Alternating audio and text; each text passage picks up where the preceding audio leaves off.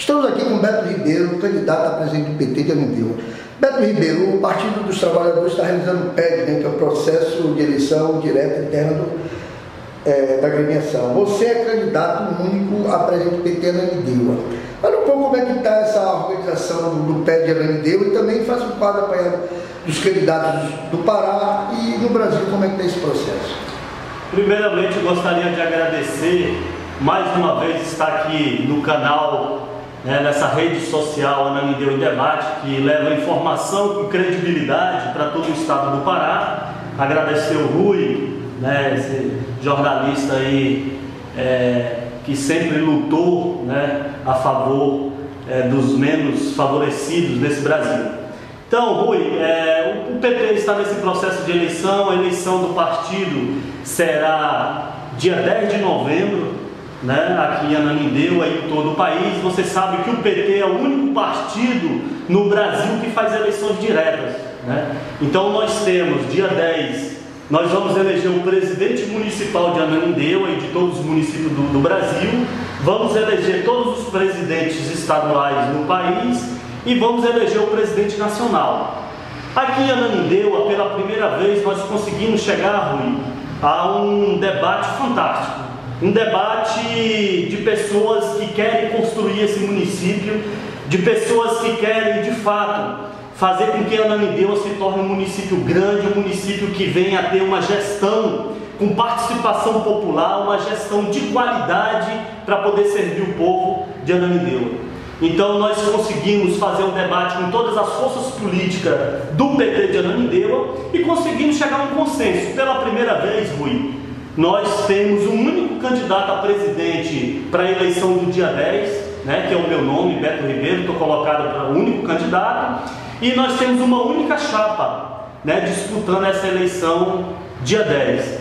Então nós conseguimos confluir né, todas as ideias, né, todos os projetos é, de, dos agrupamentos políticos do PT, conseguimos confluir num debate único para o PT para o crescimento do PT, para o fortalecimento do PT.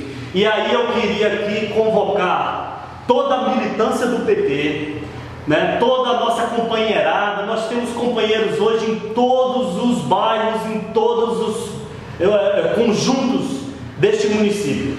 Nós temos militantes hoje filiados, nós temos hoje 3.520 filiados do PT em toda a região, né, em todo o município do, todo o município de Ananindeua. Nós gostaríamos de estar convocando, conclamando essa militância, dizer para vocês que venha conosco, venha participar desse momento, que é um momento único da história do PT de Ananindeua. É um momento que nós estamos é, rearticulando o partido, nós estamos readequando a direção do partido para o grande embate que nós vamos ter nas eleições de 2014 e nas eleições de 2016. Nós estamos no processo da eleição de 2016 e com isso nós vamos construir esse grande momento da história do PT. Beto, o PT ele ganhou o governo do estado, ele ganhou presidência, ganhou vários municípios, cresceu. Aqui em Ananideu há uma queixa que o PT nunca conseguiu se consolidar enquanto alternativa de poder municipal.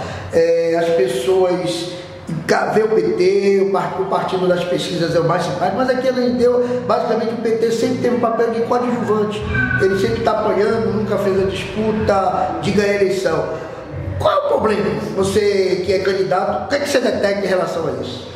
Rui, é, primeiro eu gostaria de dizer que nós já construímos um momento único na história de Ananindeua e temos uma participação é, no, em todos os, os, últimos processos eleitorais nós participamos e participamos é, de forma qualificada. É, primeiro que em, no, em, em 96 nós elegemos, na coligação com o PDT, nós elegemos quatro vereadores. Né? E daí para cá o partido, em todas as eleições, nós conseguimos pontuar, conseguimos ter uma vaga na Câmara Municipal de Ananindeua.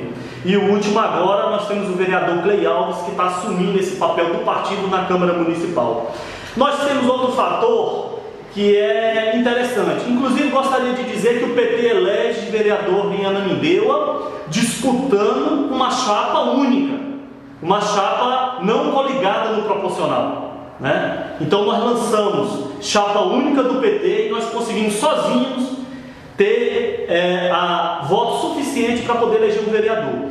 Outra, outro ponto que eu gostaria de colocar é que já lá em 96 nós ficamos em segundo lugar na disputa naquele momento com o Manuel Pioneiro, que era o primeiro mandato dele em Ananindeua. Nós ficamos em segundo lugar. E todas as vezes que o PT lança candidato a prefeito, e aí é bom que se diga que sozinho, sem coligação, a gente consegue chegar a mais de 6% da votação do município.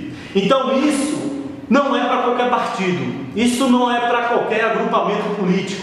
E o PT em Ananindeua, com todos os problemas que nós temos, nós conseguimos chegar a esse patamar de voto no município. E aí eu digo para você o seguinte: eu acho que nós nesse momento estamos com uma visão de construir um novo momento para o PT. Né? É, é, é in, é incompreensível a gente não deixa é, preparar o partido, e é isso que eu vou começar a fazer agora como presidente do PT. Nós vamos preparar o partido para uma grande aliança, para uma grande frente para disputar as eleições de 2016. Né? A nossa participação em outros governos, né? participamos aí da gestão PMDB e nós percebemos que não, não foi uma gestão que nos deu, nos deu fruto. Nós conseguimos trazer para cá, filiar no PT a Sandra Batista, conseguimos chegar à cadeira de vice-prefeito desse município, mas infelizmente naquele momento nós é, a companheira saiu do partido, foi cumprir uma tarefa em Belém e nós acabamos ficando somente com o nosso vereador, um vereador eleito em Ananindeua. Mas a nossa votação, a nossa última votação, batemos os 6% né, da votação do município e isso é um fator preponderante para poder dizer que se a gente conseguir compor uma frente, conseguir trazer outros partidos para poder fazer um debate, pra, sobre Ananindeua, sobre as políticas públicas de Ananindeua, eu tenho certeza que em 2016 nós vamos chegar com uma frente montada para fazer uma disputa real, né, seja com pioneiros, seja com o PMDB, seja com qual for os atores que estarão colocados nessa disputa em 2016. Para terminar, fala o local, o dia da votação é, do PED. Dia, dia 10 de novembro, Estamos convocando, conclamando toda a militância. A votação será aqui na sede do partido, aqui na Estrada da Providência, próximo é, ao Complexo do 8. Né? Vai ser das 8 às 17 horas. Então, todos os militantes né, que estão na lista aptos a participar estão convidados para vir, para participar desse momento único na história do PT Ananindeua né, e construir com a gente aqui conosco uma nova história, tá certo? Então todos vocês estão convidados. Dia 24, e aí eu já deixo o convite, dia 24 nós vamos estar fazendo um grande ato público ali na entrada do Júlia Cefé, é, no Clube dos, Engenheiros Agrônomos, nós vamos fazer um grande ato público é, e vamos chamar toda a sociedade de para participar, os vereadores, os partidos políticos, todos estão convidados a participar, a participar com a gente dessa, dessa grande ação da militância do PT lá no Clube dos Engenheiros Agrônomos, dia 24. Nós vamos fazer esse grande ato público do PT. Muito obrigado ao Ana Ninguém Debate e a gente continua nessa luta. Obrigado, Beto.